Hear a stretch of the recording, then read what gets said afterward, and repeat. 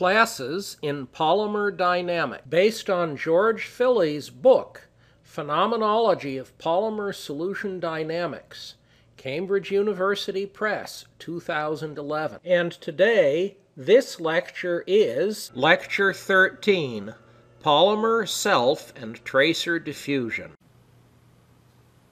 Good morning.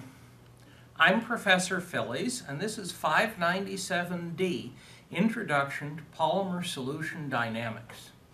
Today I'm going to finish off the discussion on polymer self-diffusion. That brings us approximately to the end of the first half of the course. Last time we were discussing tracer diffusion. We were discussing what happened if you measured the diffusion coefficient of a polymeric probe through a polymer of a different molecular weight. And what was found was that if the promolecular weight P and the matrix molecular weight M were not too different, so that P over M and M over P were both less than to about 3, we consist, you consistently observe a single behavior, namely the diffusion coefficient is proportional to e to the minus alpha, c to the nu, m to the gamma, p to the delta. If you move outside of that range, the phenomenology becomes more complicated. For example, if you look at a probe of fixed molecular weight, and we plot the diffusion coefficient versus the molecular weight of the matrix, that's figure 8-33. What you see is a rollover, a stretched exponential, and that continues until roughly m over p about 3. And for larger matrices, things roll over. That is, very, lar very large matrices and smaller probes are not behaving quite the same way that you see when the matrix and the probe are the same size. Okay, that's what we're going to say about self-diffusion and tracer diffusion. Let us advance to an entirely different set of experiments. And the entirely different set of experiments are due to Chang and a truly illustrious group of collaborators. And what was done was to look at the diffusion of polystyrene through polyvinyl methyl ether, once again in tolu orthofluorotoluene, or was it toluene? You'll have to look it up in the book. So they did the measurements, but they did something different. They did the same measurements both with quasi-elastic light scattering spectroscopy and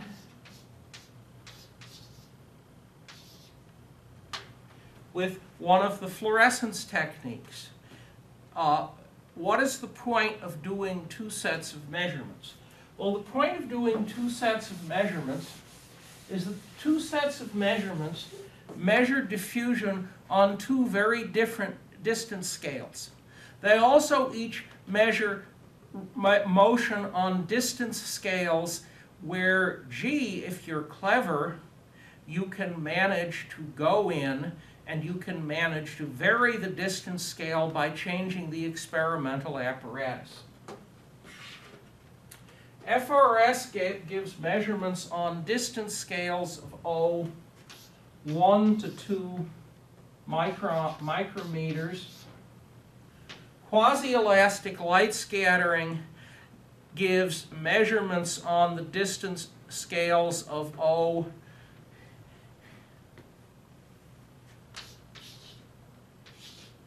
maybe 100 nanometers, a fraction of a light wavelength. You can get down to a moderate fraction of a white light wavelength. You can get out to much larger distances if you want. Um, and the main result was that the relaxation rate,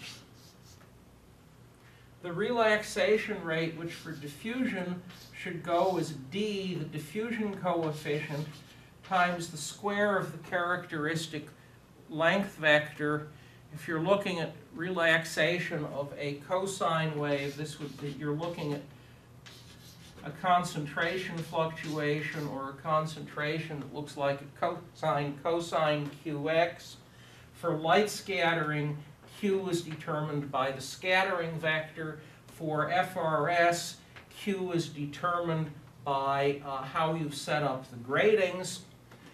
But in either case, you're looking at diffusion over some range of distances, and the major result, this is what is expected, and that is precisely what is found. And as Tim Lodge has described to many of us, you have this beautiful graph of gamma versus q square. And the important thing on the graph, which does continue eventually to the appropriate zero intercept, the nice feature of the graph is that you have this nice straight line and intercept down here at gamma equals zero, and you have it for q square in the range, gee, it's a substantial range, it's 10 to the 7 out to 10 to the 11 per centimeter square. That is over four orders of magnitude in q square, you are seeing a single diffusive process. Now, why is that interesting? Well, that's interesting because the polymer molecule is something like 40 to 50 nanometers across. And therefore, you are seeing diffusion not only over distances large compared to the size of the probe, but over distances that are moderate, not really tiny, but moderate compared to the size of the probe. And you see the same diffusive process all the way along. Now, you aren't yet looking at distances that are very small compared to the size of the probe yet. Nonetheless, there are people who propose I have a polymer, I have what is sometimes called a correlation hole. That is because my probe is here, there's less matrix polymer in the same region of space. They do tend to exclude each other a bit.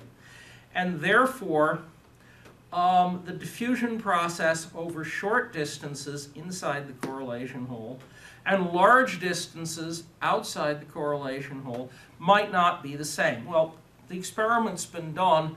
The one experiment that has been done sees one diffusion process. You could all, always wish, though, because after all, this was not precisely what the experiment was focused on, you could always wish to look at a larger set of experiments and see if this result continued to be true. However, I can tell you what's in the literature, not what's not yet in the literature.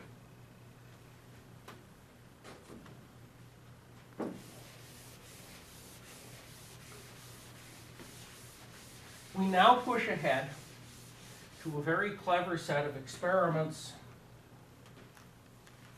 And the very clever set of experiments are due to And in large part his collaborators. And the experiments as described say the following. We are going to take DNA molecules. Here's a DNA molecule. And we are going to do clever things to them. In particular, we're going to fluorescently tag them so we could actually see the molecule. Now, if we haven't done anything to the molecule, it's a fairly compact ball, and there's less visible. But if you tag one in, you can imagine, for example, grabbing the tag with optical tweezers or any of several other methods and drawing the tag out. And you are now going to ask, well, what happens if you do this? What sort of experiments can you make? Well, one thing you can do is to stretch the molecule and ask how it relaxes. Another thing you can do is to say there's a molecule here and I can measure the location of its center. And, uh, and I, since I can see lots of the molecule and do averaging, I can measure the location of the center with extremely high precision, better than the nominal optical resolution of the microscope. Okay, so what happens if we do that? Well, we can measure x squared, the mean square displacement, versus time. And we see these nice pretty linear graphs. And we can then infer from x squared what the molecular weight is like. What Chu and group claimed to do is that they had validated the reptation picture. And they did this on the basis of three observations. The first observation was that they connived to stretch out a polymer molecule, and having stretched it out, they released the end they'd stretched, and what they found was that the molecule on a short time scale moved by pulling in its end. And they proposed they were seeing motion down the polymeric tube, and therefore that they were seeing the presence of a tube itself, reptation. They also claimed to have found that ds was proportional to m to the minus 2, and they proposed to see scaling. Now, these are very interesting results. Uh, however, there are certain technical obstacles to the interpretation. The first obstacle to the interpretation is that if you take a, a, chain and stretch it a great deal, on a short time scale, it's usually proposed that it relaxes by the what are called higher order Rouse modes. That is, the forces that tend to relax the chain point along the chain at every point. and because the net force points along the chain, pulling back from the direction of the stretch, the forces pull the chain in.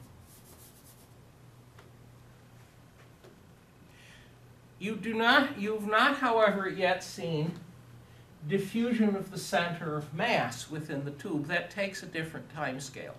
But you can certainly show that if you stretch the chain, it wants to pull back in again. The second proposal was that they found that the self-diffusion coefficient was inverse as the square of the molecular weight. This was alleged to be sig the signature of reptation. Now, it is indubitably true that the reptation model, the simple reptation model, does make this prediction. Unfortunately for the argument, there are a significant number of other models that make the same prediction. In particular, there are some nice models due to Skolnick and collaborators in which you see this particular dependence of the self-diffusion coefficient on polymer molecular weight, but the polymers in question are indubitably not reptating. For example, they are not reptating because one of their two ends is anchored to a plane and the polymers rise above the plane like seaweed above a pond bottom. So here's the result. The last claim was that concentration scaling was seen. Uh, there are two issues here. The one that is more a matter of taste, but you should look at the measurements yourself. The one that is more a matter of taste is that the visible evidence for concentration scaling was not very strong. You didn't see large numbers of points. These are not easy experiments, don't fault people, but the evidence for concentration scaling could have been better. The other point, though, having done the prior two lectures, is that if one did find concentration scaling here, there is an important issue, namely the result would contradict almost every other measurement of the same quantity. And therefore, you would have to say, allowing that all the measurements are good, that what you were seeing here was some special chemical effect, and the specific chemical effect was leading to this behavior, as opposed to it being a generic behavior of all polymers. Uh, the last issue, which we will come back to perhaps later on, is that m to the minus 2, if it's correct, leads to significant difficulties with observational results on viscosity, which instead of finding an expected m to the minus 3, based on this being m to the minus 2, I'm sorry, that's m to the plus 3, find more like m to the plus 3.4. That leads to some issues. Chu, however, and collaborators did find They don't emphasize it as much, but it's there in their papers if you read carefully. Another very important finding for understanding polymer motion.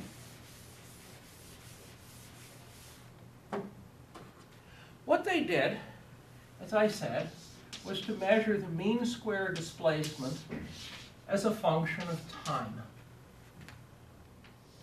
And they get this nice linear curve going down to a few seconds. It looks like it goes straight into zero. And that's very nice. That's what you would expect of diffusive behavior.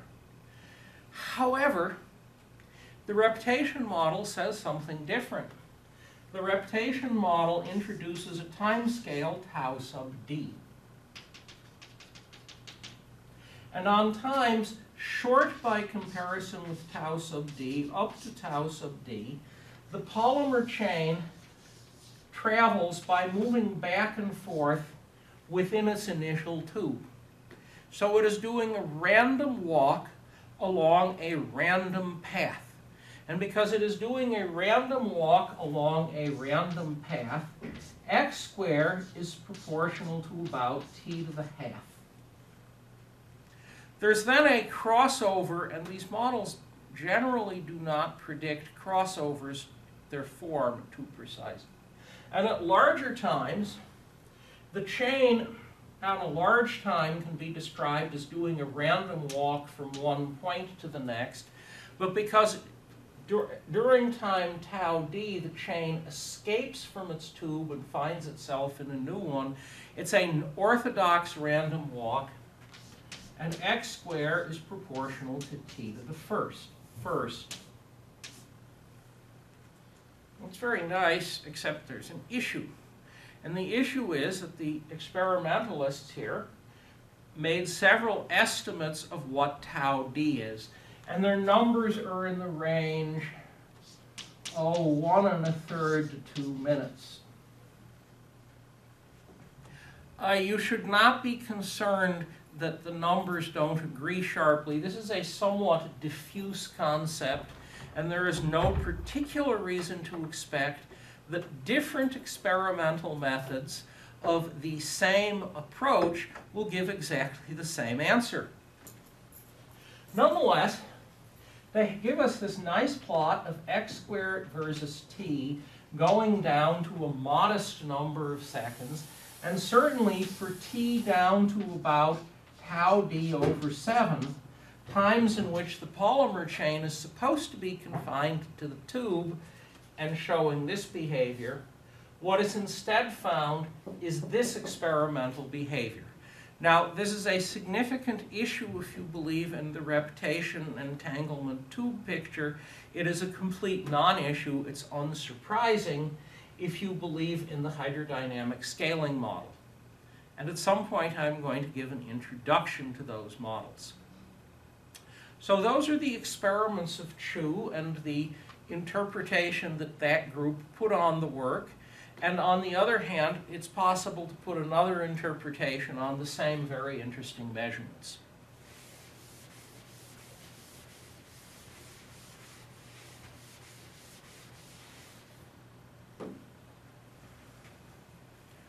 Okay, we are now going to advance to yet another experimental technique. It's an experimental technique that was viewed with considerable interest in the 70s.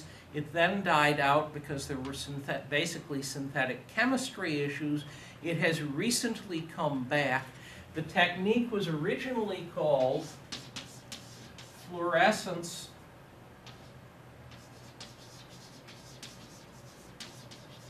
correlation spectroscopy or FCS um, because the original measure detection technique was fluorescence.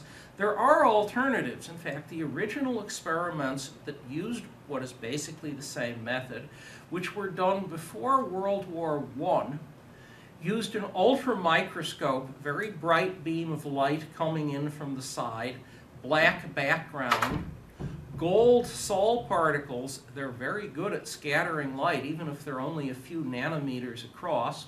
And a graduate student, uh, instead of electronics, and the time base was not a digital clock, it was a ticking metronome.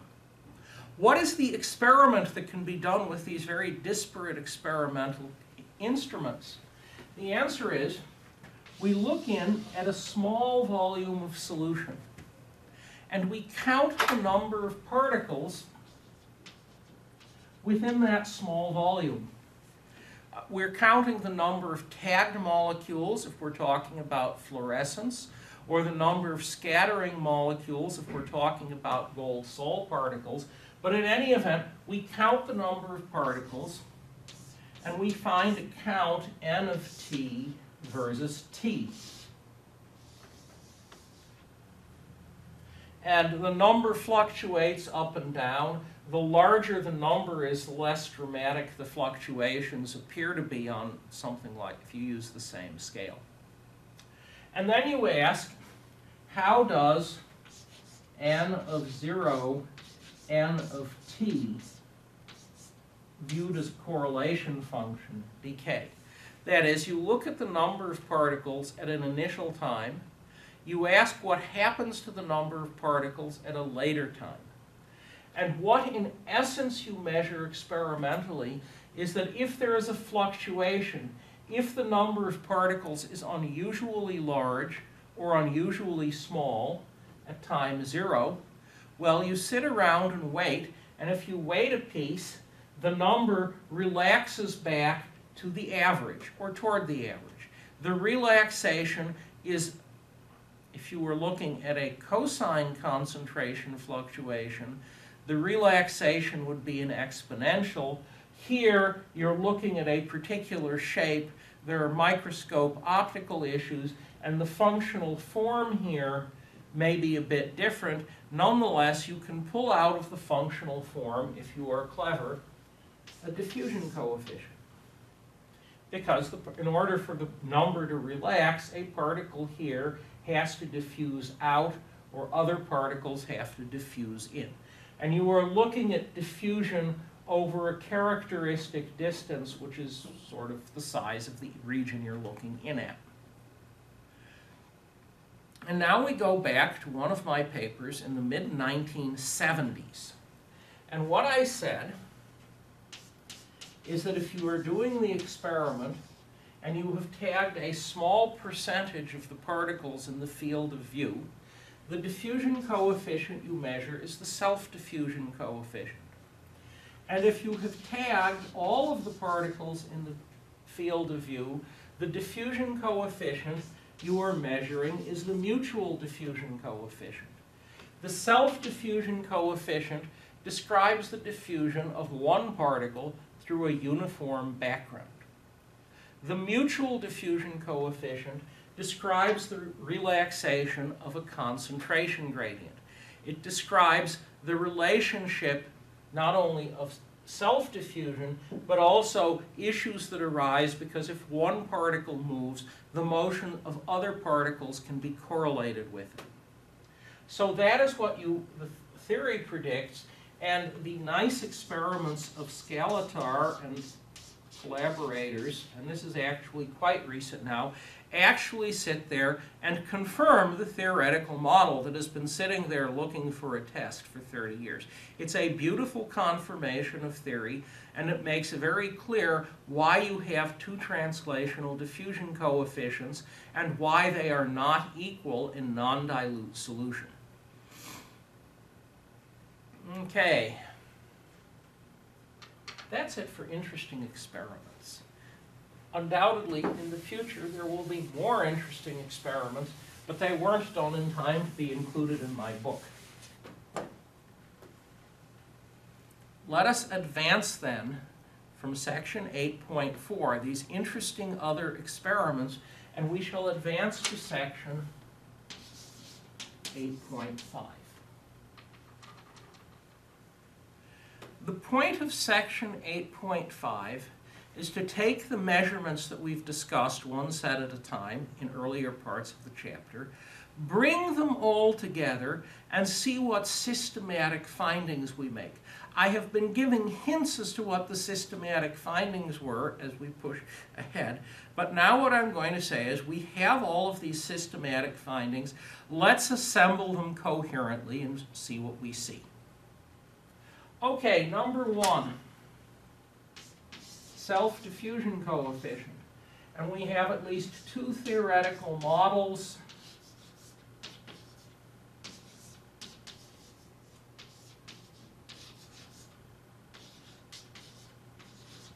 We have at least two theoretical models for how diffusion would depend on experimental variables. The first thing we can say is that almost without exception, we do not find scaling laws. There is almost no experimental evidence at all for systems in which the concentration, the self-diffusion coefficient, falls off as a power law in concentration. There aren't, it's not quite zero, but it's very close. On the other hand, the stretched exponential with, if we write this for self-diffusion, where the probe and matrix have the same molecular weight, we have one more parameter here. Well, having said we have one more parameter, life is a little easier, but this form works very well indeed. The next thing we could do, though, is to ask, well, suppose we actually say e to the minus alpha c to the nu, the stre simple stretched exponential, one stretched exponential per polymer molecular weight. Does alpha behave in a reasonable manner? Alternatively, does it just behave in a random manner? After all, if you just find some empirical fitting function, there's no particular reason for your parameters to be related at all closely to properties of the solution. On the other hand, if the parameters follow fairly tightly the uh, behavior of the solution, you might reasonably say that, gee, we have something interesting. And the answer on that is found in the first few figures of section 8. And we try two experiments. One is to relate alpha to the polymer molecular weight, and the other is to relate alpha to the polymer radius of gyration. Now, there is the practical difficulty that you have a bunch of different polymers.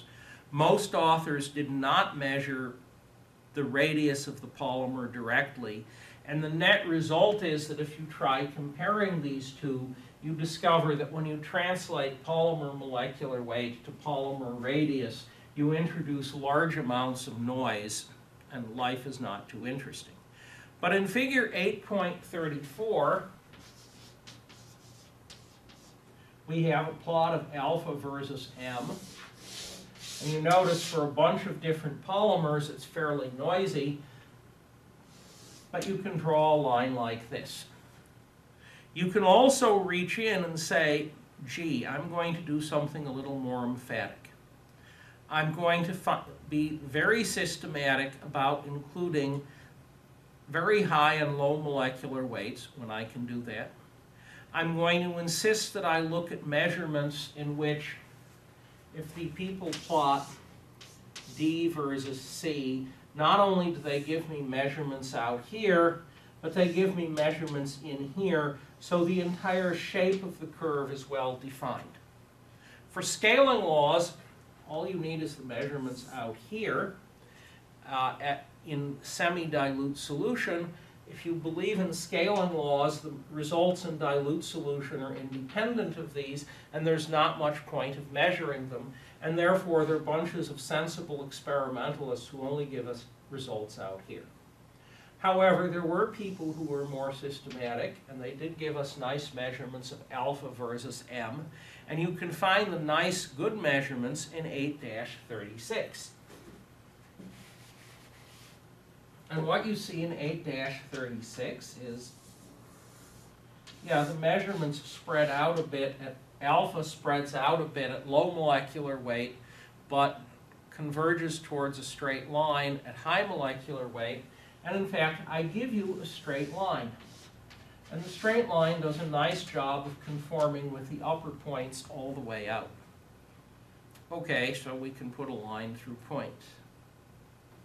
But I didn't put that line through the points. That line, this line, is a prediction of the hydrodynamic scaling model. The important feature of this prediction is that it has no free parameters. None at all. The closest you get to a free parameter is how you relate the molecular weight to the polymer radius, but that's a well understood result. Furthermore, that line is here. It's not up here, it's not down there, it is where it is drawn on the graph.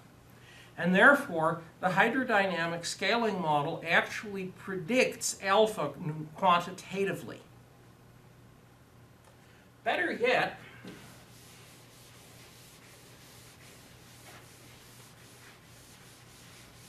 if we go back to this form and we say our interesting physical quantity is the logarithm of the self-diffusion coefficient, the form is log of ds, which is perfectly well what you could say the measurable is, goes as alpha c to the nu, well there's a minus sign, plus a constant. In that case, nu is a scaling exponent, and A, alpha, which we calculated, is a scaling prefactor. There are lots of theoretical models which let you calculate scaling exponents. There's a big industry calculating them, and those calculations are very good. If you hunt about in the literature, though, looking for people who calculate the scaling prefactors, you will discover there are rather fewer of them. But that's what we have here, a calculation of alpha. Okay, that's alpha. However, look up there, there's alpha, there's another parameter. The other parameter is nu. And the question is, how does nu depend on variables? Well, if the stretched exponential form is accurate, nu should be the independent of concentration. You just see a value of nu and it gives you the shape of the d versus c curve. But I can also imagine plotting nu against polymer molecular weight. And I have done that for most of the measurements. You have the graph in the text. And the question is what you see when you plot nu versus m. Well, what happens is, at large molecular weight, nu is pretty close to a half. And that's true for molecular weights above a quarter or a half a million. Half a million anyhow. At smaller molecular weight, this spreads out. You could propose, and there are actually a lot of measurements that are consistent with nu being about 1 at low molecular weight, but this is clearly not true in every system. And then a crossover function like that from nu of 1 to nu and a half. But if you look hard, you realize there are a lot of measurements that do not fall on this curve, and sorting out why has not yet been.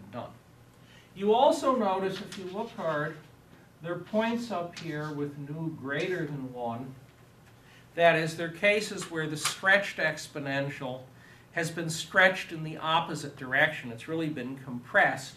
And so if you have nu greater than 1, and you plot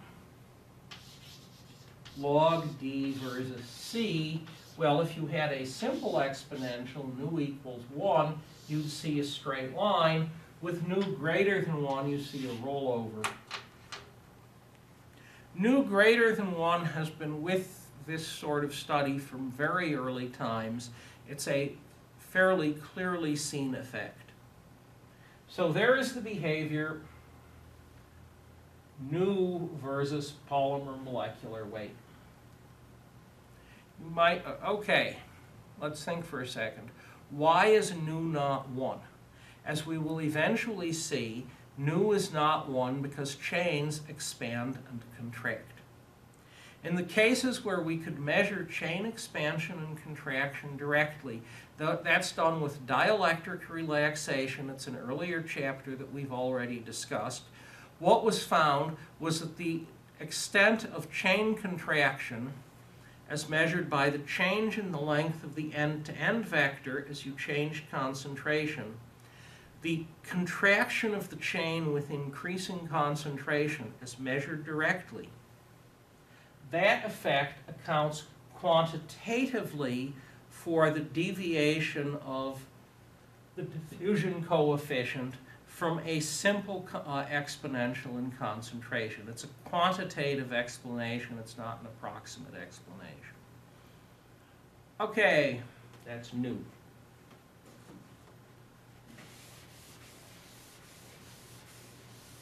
Can we measure anything else? Oh yes, remember we were talking about tracer diffusion? Well, for tracer diffusion, the probe and the molecular and the probe and the matrix, I should say, have independent molecular weights. And if these two molecular weights are not too different, say if both of these numbers are less than about 3, you have a fairly consistent behavior. You have the stretched exponential. You have something of the form d0 probe to the minus a. By the way, that's a typo in the book. In the book, this, at least in the draft manuscript, that shows up as an m. And you have an exponential e to the minus a, c to the nu, m to the gamma, t to the delta. And then you encounter a little puzzle. And the little puzzle you encounter is that in the cases where these quantities have been measured, gamma is about 0.25 or 0.3. P to the delta, delta is about 0.3. And therefore you have gamma plus delta is about 0.6 or maybe a bit less. Well, that's very nice, except if you look in systems where you were looking at self-diffusion, you found not 0.6, but a significantly larger number close to 1. And it is not quite clear, at least I didn't find a way to analyze the data to explain why it is that if you're looking at tracer diffusion, you get a weaker dependence on the molecular weights than you do if you look at self-diffusion. Um, I suspect it's one of these, you are looking at certain ranges of molecular weights, you're looking at this, you're looking at that, and the two numbers are perfectly consistent and don't refer to quite the same thing. But I didn't solve that problem in the book.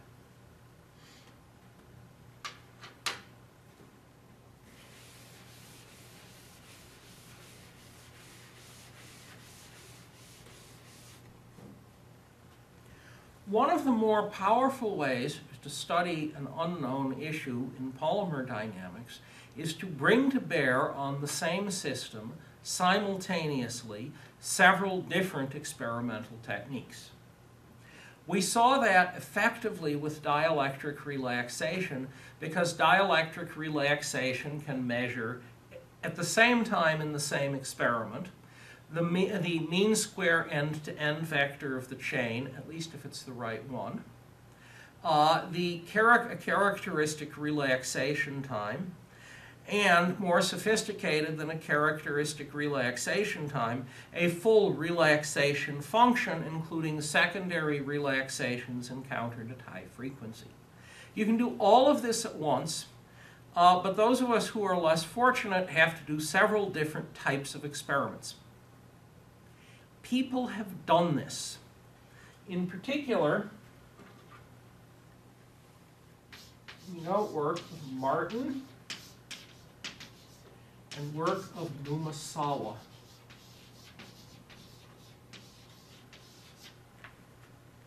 And what both of these experimental studies did was to measure at more or less one swoop the polymer self-diffusion coefficient and the polymer viscosity, the solution viscosity. And so they measure two rather different things about the same system. For Martin, the system was, yes, the usual polystyrene polyvinyl methyl ether, but the important issue was that the matrix was about 110 kilodalton. The probe molecular weights went from 50 kilodalton, and then there was 100, and there was a 420, and at the top end, there was a 900.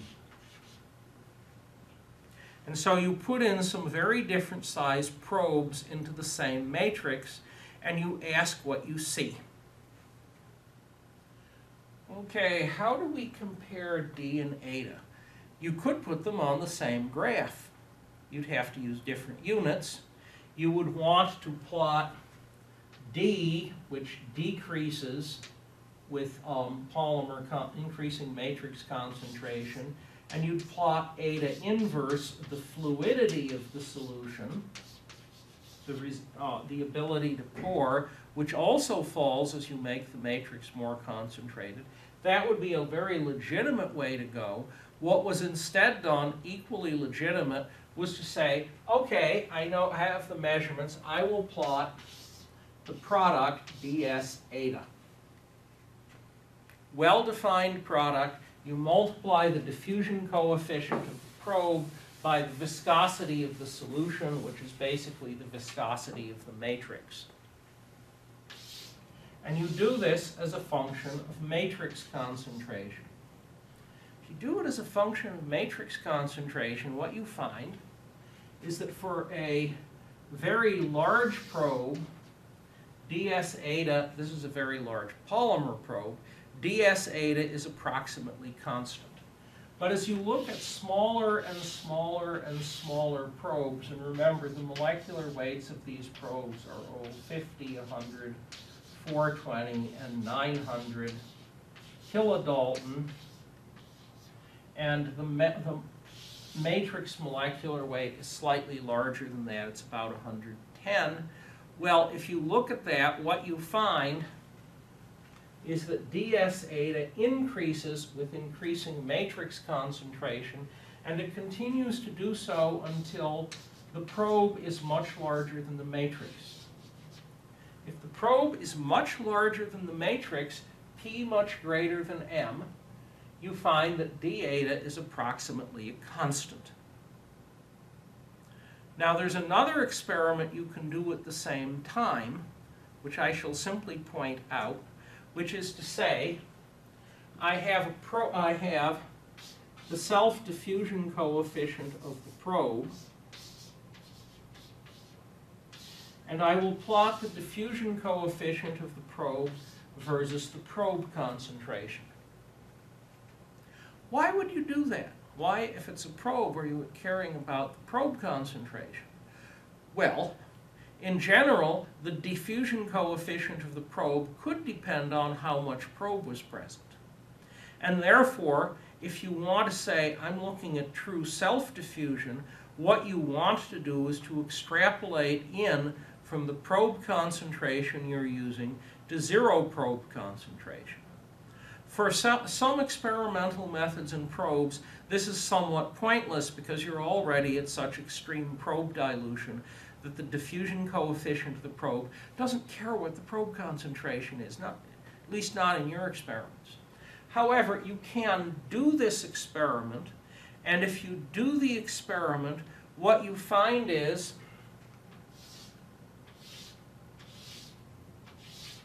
you get a series of slopes. That is, the diffusion coefficient of the probe is sensitive to probe concentration. At the slope here is initially weakly positive, but as you drop, excuse me, as you increase the matrix concentration, as you increase the matrix concentration, the dependence of dP on, of probe on probe concentration becomes more and more negative. So at first, with very dilute matrix, you add probe polymers and their diffusion coefficient increases. As you increase the matrix concentration, though, and go to elevated matrix concentration, as you increase the concentration of the probe, the diffusion coefficient of the probe falls. Okay.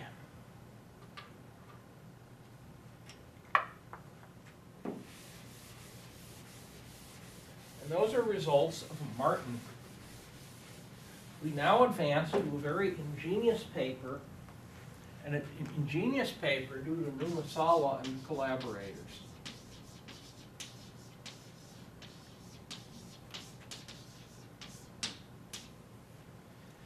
What they did was to look at a, a ternary system, and they have a series of probes, and they have a series of matrix polymers, and they can combine them, and they look at a product, namely the product of the diffusion coefficient of the probe, the radius of the probe, because large probes diffuse more slowly, but this product might be independent of probe concentration, and the viscosity of the solution. There wasn't, and, and you look at this as you vary the matrix concentration and the matrix molecular weight. It's a well-defined set of experiments. There's some very nice chemistry getting it all to work. Uh, someone has to make all those polymers for you after all. And what was done was to propose that you were going to see two sorts of regimes. If you had a small matrix and a large probe, the proposal was that you would see Stokes Einstein behavior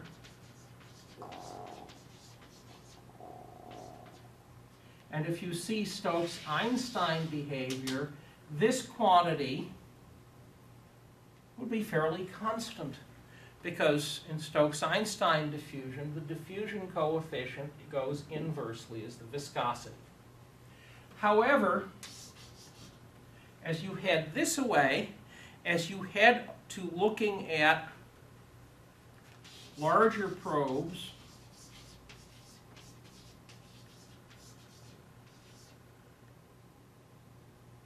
maybe I should have said that differently larger matrices and still large probes. If you make the matrix polymer larger, or you make the concentration larger, what is going to happen? Well, if you believe in the reptation model, as you increase the concentration and you use large matrix polymers, the matrix chains can entangle. And once they have entangled, the expectation is that Stokes-Einstein behavior goes, you go over to reptation behavior, and this product, ds r eta, over its value when you're not yet entangled, up here this quantity is some number like 1, and down here, the reptation expectation is that DSR eta can become large because the polymer is more effective at increasing the viscosity of the solution. The matrix increases the viscosity of the solution, but the probes are able to thread their way through the matrix and are not slowed down as much, so this product becomes large. Experimentally, that's what you find. You find a regime where DSR eta is about constant, And when you move to large matrices and elevated concentrations, when you increase the concentration of the matrix polymer and the concentration of the matrix polymer, you discover that this product increases quite markedly. Well, that's very good. The question, though, is, is this a proof of the reptation model? And the answer is that it is not. It is the result is consistent with the reptation ideas, but it does not prove it. Why not? Well, understand why not. We would have to advance to a chapter we have not yet reached, namely the chapter on probe diffusion. And in probe diffusion, we look at spheres, large spheres or small spheres, diffusing through a polymer matrix as we change the concentration. And we, as you would infer from the name probe diffusion, measure the diffusion coefficient of these spherical probes. And while there's several things you could plot, one of them is indubitably d eta. Now, a large sphere is very different from polymer coil in one sense. If you believe in reptation, and the probe is reasonably large, larger than the holes between the entanglement points, as drawn here. Big probe, narrow tube. Then you can't predict that the sphere reptates. It can't fit. It can't move like that. Instead, the sphere has to move through the solution which, of which it is exposed to a fair amount. And in that case, the prediction or expectation, I'm not sure it's quite counts as a prediction, was that dp eta would be about constant. That is, large spheres would show Stokes Einstein behavior. Well, at low matrix concentrations, and with small matrix polymers, that's not a bad prediction. If you have a big sphere and a very low a low molecular weight polymer, you tend to see behavior like this. However, if you increase the concentration of the matrix and you make the matrix chains quite large, so they are moving towards being entangled, d eta experimentally, probe eta, does this.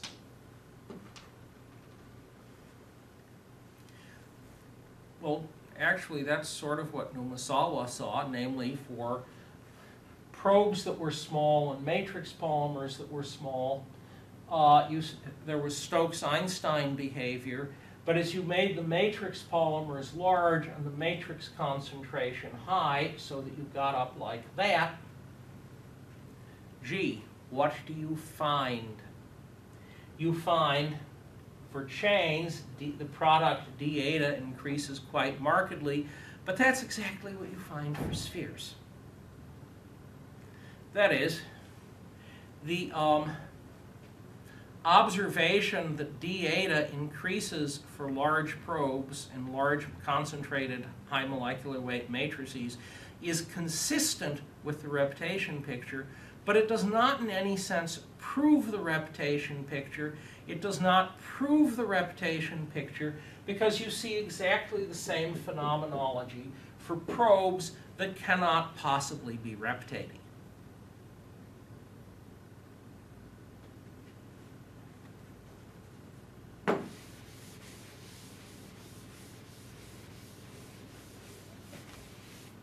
And that actually brings us, approximately speaking, to the end of the first half of this course.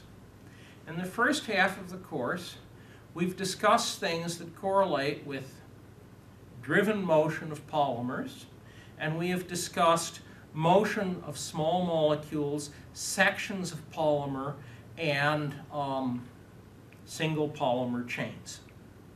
In the rest of the course, we are going to advance, we're going to talk about probe diffusion, rigid objects moving through polymer solutions. We're going to talk about collective behaviors, the mutual diffusion coefficient, the viscosity, and viscoelasticity. I'm also going to drop into there one completely non-conventional topic, namely we're going to talk about colloid dynamics. Why would we talk about colloid dynamics? Well, colloidal particles are spheres. They don't have all of the inner structure and motion that polymer coils do. However, their interactions with other spheres are hydrodynamic and excluded volume. The forces in colloid systems are exactly the same as the forces you would encounter in polymer coil systems. The one difference is that spheres indubitably cannot reptate. They can't deform to get through small holes in the solution. They just sit there. And therefore, anything that is common to sphere dynamics and coil dynamics can't be attributed to the ability of the coils to change shape. We'll see what those common features are when we get to that chapter. Let us, however, spend a few minutes recalling what we've done so far in the course. We began with Chapter 2, and Chapter 2 talks about sedimentation. That is, we take a centrifuge, we spin it up, we put a polymer solution in the centrifuge before we turn it on, and what we observe is that the polymer sediments up or down relative to the solvent up or down depending on its density, larger or smaller than the solvent density. We can also take a polymer solution in the centrifuge and add to it probe particles, colloids, other polymer chains, and we can look at the ternary mixture and ask how a probe component is moving with respect to the polymeric matrix. We then talked about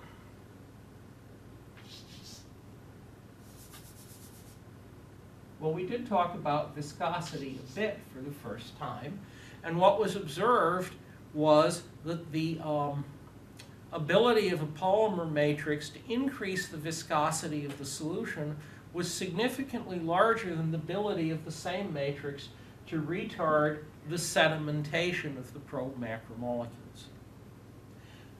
Okay, we did sedimentation, and then we advanced and we talked about, gee, electrophoresis.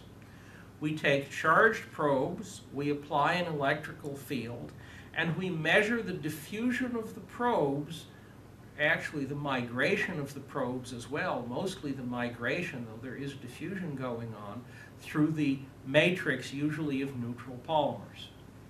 And what we found was what we've also seen with sedimentation. Namely, you plot sedimentation or you plot electrophoretic mobility versus concentration of the matrix. And there is a prominent reduction in the sedimentation rate or the mobility as you increase the concentration of the polymers. That's what you do find experimentally.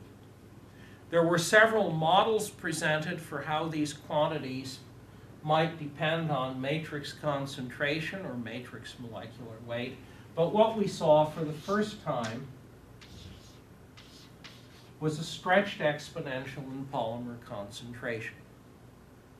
For the dependence of mobility on probe molecular weight, there was a more complicated behavior. Namely, there was a stretched exponential in probe molecular weight until we hit a crossover. And the crossover, above the crossover, which in this system is pretty sharp, there is a decrease, a very weak decrease, of mobility with increasing probe size. The decrease turns out to be sufficiently weak that it's at least tricky to use the dependence of mobility on probe size to do separations out here. There is some evidence, it's not as well sorted out as one might wish, that this change is actually a linear to nonlinear transport change, namely the dynamics change if the force of the probe on the polymer matrix is large enough. I'm not sure I view that as settled. We did take an intermission to discuss light scattering spectroscopy and its ability to measure the mutual diffusion coefficient. So we talked about quasi-elastic light scattering, which is sensitive to fluctuations in a single for spatial Fourier component of the polymer concentration. For colloids, it's possible to calculate how the diffusion coefficient depends on the size of the pro, uh, the diffusing spheres and their concentration, and a concentration calculation in that style was displayed. Okay. So that's light scattering spectroscopy. I did at the end for once toss in a few comments on experimental constraints. The comments on experimental constraints were, well, it'd be very nice to take our light scattering spectrum and fit it to a huge number of exponentials and pull out the diffusion coefficients separately of everything present. You can't do that. You can pull out a modest number of parameters from a light scattering spectrum. And when I say modest number, I mean six to eight, not the immobilities of 2,000 species. It just doesn't work that way. Okay, that was chapter four.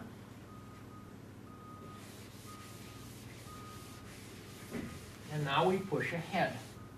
And what did we push ahead to do? First, we discussed small molecule motions.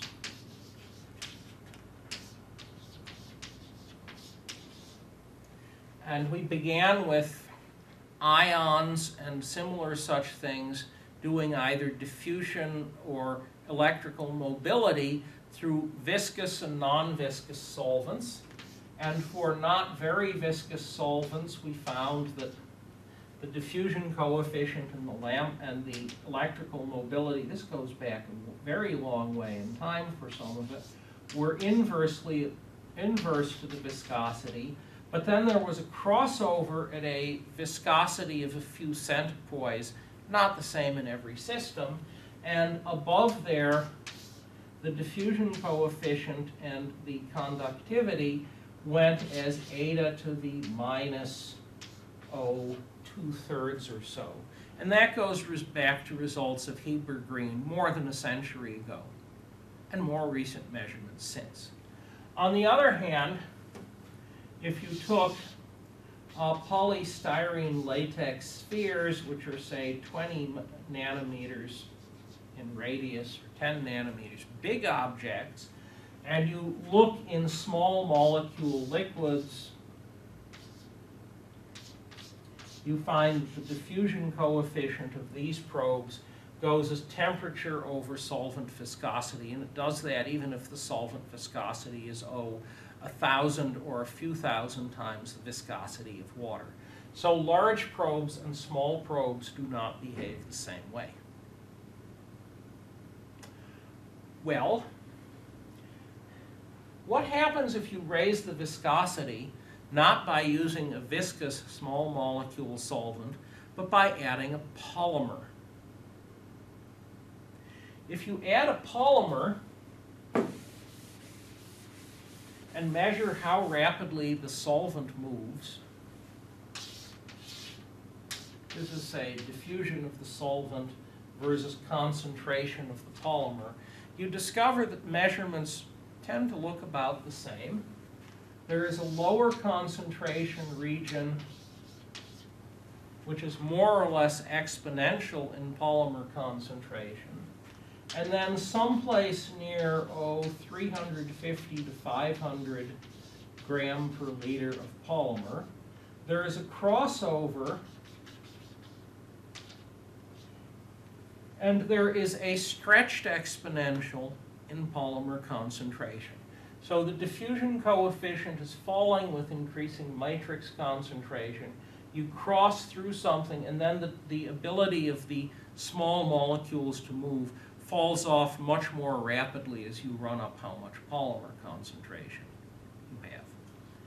Uh, an interpretation of this effect, which may or may not be true, but it seems reasonable, is that if you have some characteristic distance psi between neighboring polymer beads, not on the same chain, or at least not nearby on the same chain, and you have a solvent molecule which has some characteristic size r, roughly speaking, when r becomes larger than psi, so the solvent can't consistently find interstices through which it can pass, when r becomes larger than psi, which happens at about this concentration, r doesn't change with concentration, but psi certainly does. Um, when you cross over, the mobility of the solvent changes because it has problems finding holes.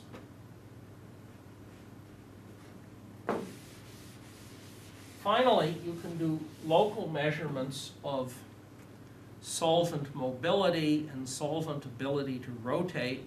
And what is demonstrated, experiments of Cron, Lodge, and and other people, that we have a polymer coil here, and it has neighboring solvent molecules, which are actually fairly tightly packed. And roughly speaking, what you discover is that the polymer has a dramatic effect on the ability of the solvent molecules to move out to something like two solvent diameters. That is an imprecise number, but it's some number like that. Uh, the, the effect of the polymer, by the way, doesn't have to be to interfere with the ability of the solvent molecules to move. If you put the right polymer, a very flexible polymer, into an Aroclor solvent, Aroclor is a chlorinated biphenyl, it's extremely viscous, what you discover is that the polymer acts as a plasticizing agent and the uh, solvent molecules are able to move, or at least rotate, more and more rapidly as you add more and more polymer. Okay, that's it for the chapter on small molecule motion. We then pushed ahead and talked a bit about segmental motion. We had a series of different experiments that measure motion of segments, motion of single reorientation of single bonds. And we could do these as we change the matrix concentration and other variables. We could also put in probes that tell us the alignment of the backbone. And if this was done by attaching the probe at one end, what was demonstrated, at least for the polymer in question, is here's the probe, here's the polymer. The behavior of the probe changes as you make the polymer longer and longer, and that effect persists until you have something like 20 to 40 monomers here. Once you have more than about 20 to 40 monomers, once you have a long polymer chain, making the chain longer and longer has very little effect on the mobility of the chain ends. That sort of makes sense. What it says is there is a distance over which uh, or chain orientation and motion along the chain, we have different pieces. There's a distance over which the different pieces talk to each other, but if you have two pieces that are very far apart along the chain, they're really not aware of what each other is doing. Okay. We finally pushed ahead and we talked about dielectric relaxation, which I've discussed earlier in this class. But dielectric relaxation is wonderful because it gives us the mean square end-to-end -end distance. It gives us a characteristic time tau. It gives us a relaxation function, which in some cases has multiple relaxations. We get all of these very different experimental numbers out of one system. I was able to demonstrate how tau and r square are correlated, namely tau goes as e to the um, A concentration to the first R square to the three halves. R square changes with changing concentration, and that drives the concentration dependence of tau away from a single exponential. However, the deviation depends on chain radius. And this is actually a quantitative result. The concentration dependence of R square explains quantitatively why tau is not a single, simple exponential in polymer. We were also able to look at relaxation functions and how their parameters depend on concentration. Finally, and we close that discussion today, we discussed polymer self-diffusion, which I summarized just now. And in polymer self-diffusion, we find how the self-diffusion depends on the concentration of the polymer, the size of the matrix polymer, and separately, the size of the probe polymer. So we've now done a full set of discussions of what are more or less single single molecule results. In the rest of the course, we will push ahead and we will discuss collective effects and other related quantities. However, for today, that's it.